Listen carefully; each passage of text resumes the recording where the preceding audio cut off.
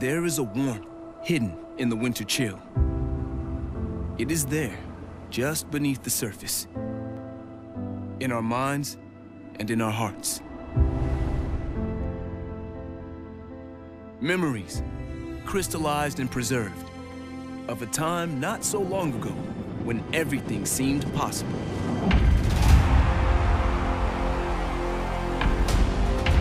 Like ghosts, those moments that even behind closed eyes can still raise goosebumps and stir the soul.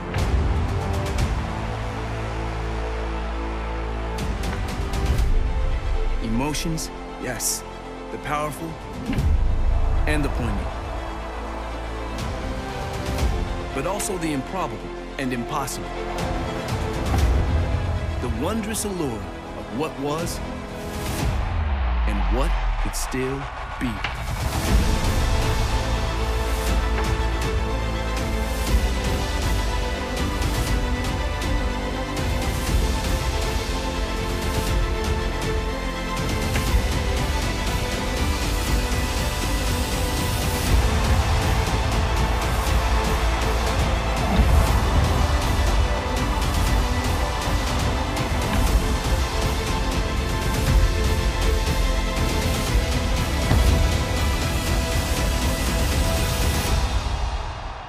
Smile, knowing now that this game has not abandoned us. No, this game is with us always, ready to break free when the world awakens in the spring.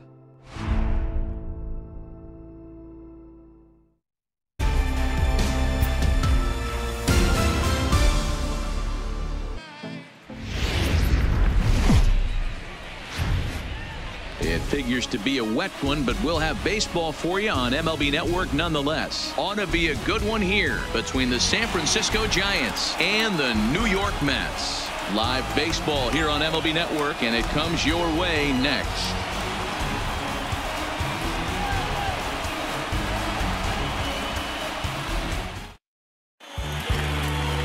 Jacob DeGrom, a right-hander from Florida, gets the ball as the starter here.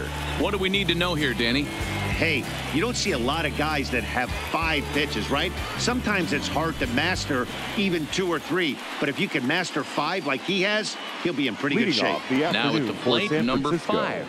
And the we are ready for some daytime number baseball. five. He's ready. Here's the first offering. And afternoon baseball on MLB Network is underway. Coming down in buckets, cats and dogs. Insert metaphor here, and the forecast is not showing any signs.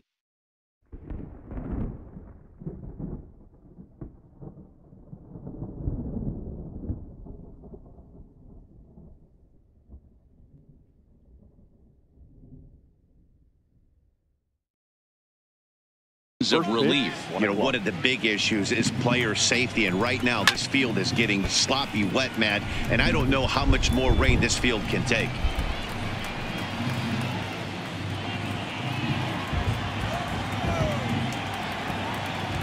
Into the windup. Here comes the 0-2 pitch.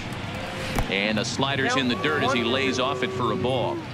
Pretty good pitch and a great take there. There's not a lot you could do with that slider breaking down and unless you can catch it way out front and hook it down the line. You see a lot of swinging misses on those. Fastball swung on and missed, and the leadoff man has gone on strikes to start the afternoon. And here's how the visiting San Francisco Giants line up in this one. Anybody catch your eye, Dan? Well, Matt, Evan Longoria has been tearing it up lately. The guy is in the middle of the lineup, and when he's in the middle, things just happen. Guys in front of him get on, he drives them in, and if not, he has the ability to get things started and set the guys up behind him. He's a force. First pitch curveball swung on and missed. Strike one. In previous duels with DeGrom, he's four for 14. He also has one home run. 0-2 the count to Posey. Posey is considered one of the best defensive catchers in the game today. He often gets praise for his work behind the plate and I know a lot of pitchers have made it clear that his presence back there adds a level of comfort that not many others can replicate. And Matty, I don't know if he's always going to be a favorite for the Gold Glove, but you walk around this clubhouse, you hear these pitchers rave about throwing to this guy. That's all I need to hear. And he takes strike three called, and it's a pair of punch-outs that begin the ball game.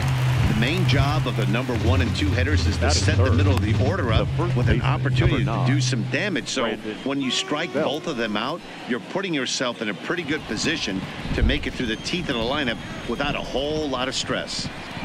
First delivery to him on the way. Mm, a little tardy there. No balls and a strike. Well, clearly this guy doesn't need many warm-up pitches because he's 98 miles an hour in the first inning. Newsflash to the offense, they better get it going. A lot of movement that time. It's 0-2. When you're facing a guy with this many pitches in his repertoire, I say throw everything out. 0-2, he's sitting fastball. Curveball, but he can't get him to chase it 1 and 2. Those 0-2 curveballs are really tough for guys to lay off. There's a reason it's such a common pitch in that count, but he did well to spit on it there. Working on striking out the side in the first. Lays off the 1-2 changeup, and he's worked it back to 2 and 2. And there are the umpires working this one. Calling balls and strikes is Mr. Patrick Johnson. Yeah, Dan, we got Patrick Johnson behind the dish, and I fairly standard strike zone most of the time, but he's definitely a pitcher's umpire. I I always felt like this. He's he'll give a little bit on the corners, both inside and outside. I think he's a fair umpire, but I would rate him more as a pitcher's umpire than a hitter's umpire. Full count, 3 and 2.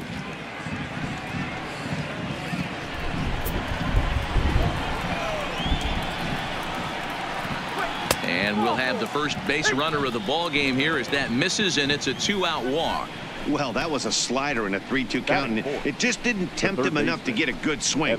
A good job of pitch recognition and knowing the strike zone to draw the free pass there.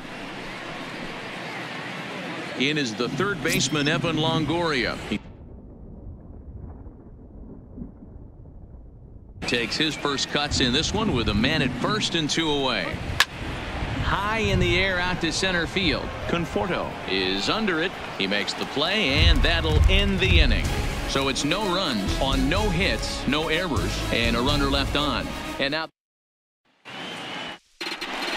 Madison Bumgarner, a lefty from North Carolina, gets the starting assignment. What do you have for us on him, Danny?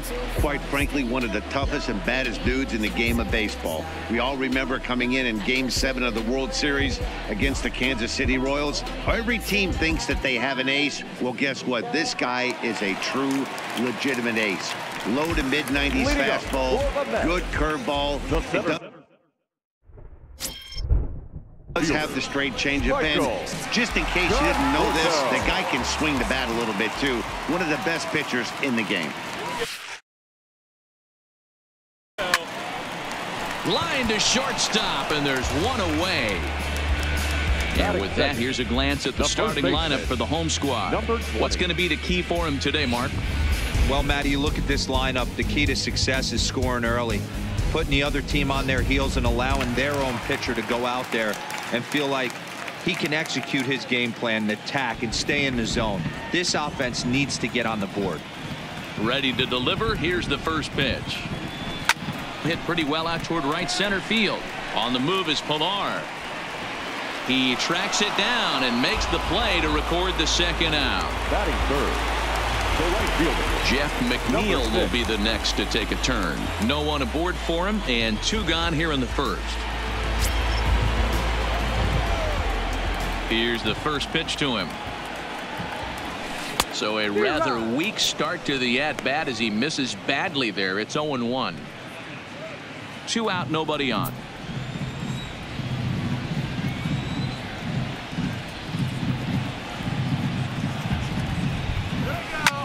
Line drive to left. But this is right to him in left as he hardly has to move as he handles it for the final out. Quick work there as the Mets are down on four.